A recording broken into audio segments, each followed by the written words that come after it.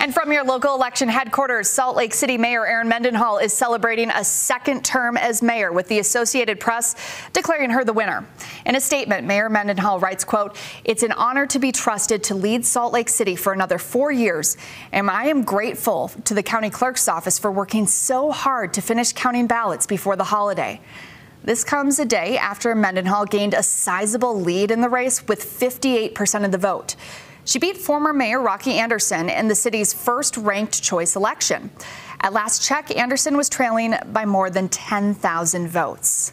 Again, these are just the preliminary numbers. It will take about two weeks before the results are certified.